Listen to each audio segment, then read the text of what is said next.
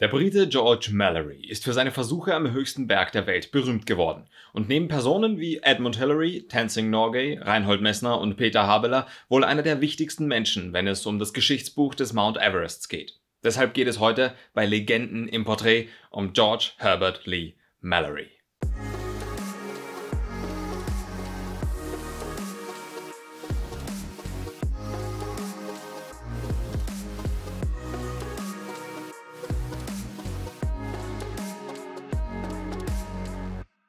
Geboren wurde George Mallory in Moberley in England am 18. Juni 1886. In England wuchs er in vergleichsweise einfachen Verhältnissen als Sohn eines Pfarrers auf. Klettern lag George im Blut. Doch mit sieben Jahren begann er immer wieder auszubüchsen und die Dächer der eigenen Heimatstadt zu erklettern.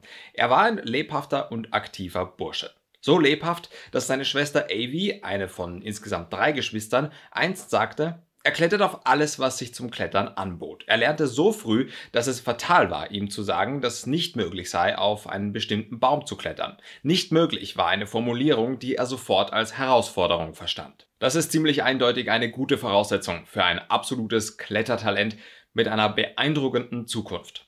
Doch George Mallory war in seiner Kindheit und Jugend vor allem mit dem Lernen und der Bildung beschäftigt. Er gewann mit 13 Jahren ein Mathematikstipendiat für das Winchester College.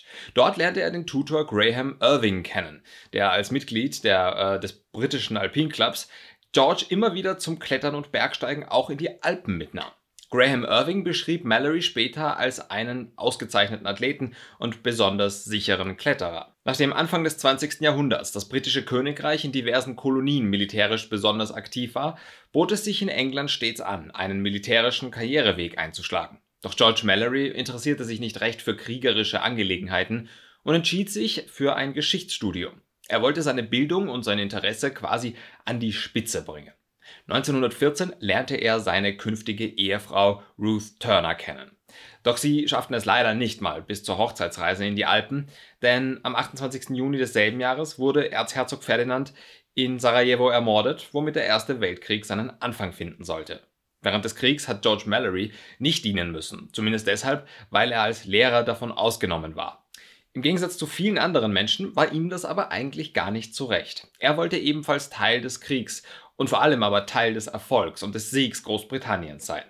Viele seiner Freunde fielen in diversen Schlachten. Seine Frau war freiwillig in einem Krankenhaus für Kriegsverletzte beschäftigt und er leistete gegen seinen Willen noch keinen Beitrag im Krieg. Noch deshalb, weil im Herbst 1915 George Mallory letztlich doch vom Schuldienst befreit wurde und bei der Royal Garrison Artillery zu dienen begann. Und obwohl die Zeichen schlecht standen und er vielen Angriffen ausgeliefert war, überlebte er glücklicherweise den Krieg. Interessant ist all das, weil George Mallory nur aufgrund des großen Glücks während seiner Jugend und der Kriegszeit später in der Lage war, seine zuvor erworbenen alpinistischen Kenntnisse einzusetzen. Die britische Expedition zum Mount Everest 1921 bestand zum großen Teil nur aus Soldaten. Keiner weiß, ob letztlich tatsächlich auch er mitreisen hätte dürfen, wenn er nie gedient hätte. Seine alpinistischen Leistungen qualifizierten ihn jedoch in jeder Hinsicht zu einer solchen Unternehmung. Die Geschichte hinter den britischen Expeditionen im Everest-Gebiet ist aber durchaus keine wunderschöne. Sie begann damit, dass die Briten besessen vom Everest waren. So besessen, dass sie sogar den Berg nach dem Vermesser der Region, George Everest, benannten. Die Besessenheit führte aus der damals britischen Kolonie Indien über Darjeeling in kriegerischer Manier in Richtung Nordosten, wo man das Land Tibet dazu zwang, die Erstbesteigung des Mount Everest, dort äh, Chomolungma genannt, zu genehmigen. Tatsächlich hätten die Tibeter aber auch keine andere Wahl gehabt, als ihnen den Weg freizumachen.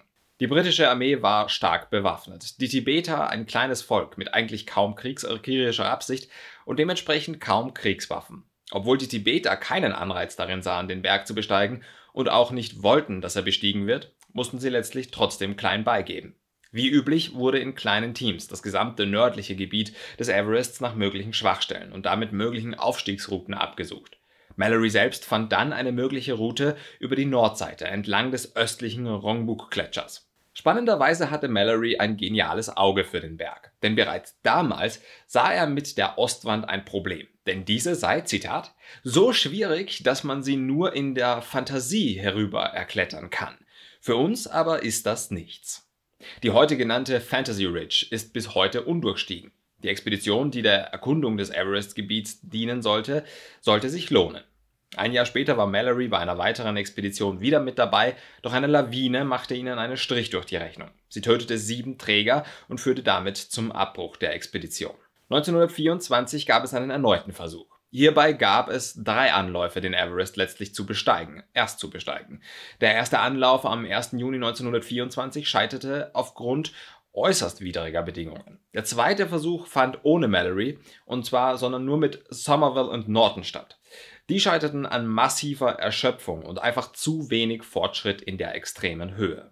Der dritte Versuch beinhaltete dann die zwei heute so berühmten Bergsteiger George Mallory und Andrew Irvine. Er war nicht der begabteste Partner, den sich Mallory vorstellen konnte, jedoch war George technisch ungeschickt und war deshalb froh, jemanden mit technischen Fähigkeiten zur Reparatur der Sauerstoffgeräte im Notfall dabei zu haben. Aus Lager 6 wollten sie sich am 8. Juni auf den Weg zum Gipfel machen. Noel Odell, der sie immer wieder weiter zurückliegend begleitete und ebenfalls mit Trägern unterwegs war, sichtete die beiden am 8. Juni von einem Aussichtspunkt aus. Jedoch befanden sie sich zur Sichtung weit hinter dem eigenen Zeitplan, was erste Bedenken verursachte. Odell folgte ihnen hinterher, um zu sehen, ob es ihnen gut gehen kann und er helfen kann, fand im Lager 6 jedoch nur ein Chaos vor. Das Wetter war deutlich schlechter geworden. Er konnte weder Irvine noch Mallory wiedersehen. Odell versuchte die weiteren Tage immer wieder aufzusteigen, die beiden zu suchen. Doch letztlich brach er und die restliche Expedition am 11. Juni das Vorhaben ab. Niemand weiß, was am Nordsattel zwischen Lager 6 und dem Gipfel passiert ist. Viele Mythen, viele Geschichten, viele Vermutungen. Und letztlich vor allem Odells Sichtung, die vielleicht gar keine Sichtung war. Das wird zumindest bis heute alles diskutiert. Niemals wird man herausfinden können, zumindest mit hundertprozentiger Sicherheit, ob nicht die Erstbesteiger des Everests doch Mallory und Irvine waren. Details zu dem ganzen Drama drumherum verlinke ich euch natürlich gerne unten in der Videobeschreibung in einer sehr guten Aufarbeitung des kompletten Geschehens. Mallory wurde letztlich 1999 vom Bergsteiger Conrad Anker gefunden. Das Bild von seiner Frau, das er am Gipfel ablegen wollte, fehlte am Fundort von George Mallory, was den Schluss nahelegt, dass er es vielleicht doch auf den Gipfel schaffte. Nur Andrew Irvine, der wurde bis heute nicht gefunden und es bleibt unklar, ob nicht vielleicht er den einzigen Beweis mit sich trägt, der die gesamte Geschichte des Mount Everests neu schreiben würde. George Mallory wurde bekannt als der Mann, der es so weit wie kein anderer auf den höchsten Berg der Welt schaffte. Er war Ausnahmealpinist und das schon in ganz früher Zeit, als Alpinismus noch ein Fremdwort war. Beenden und in allen Ehren halten möchte ich die heutige Episode mit seiner Antwort auf die Frage, warum er den Everest besteigen wollte. Because it is there.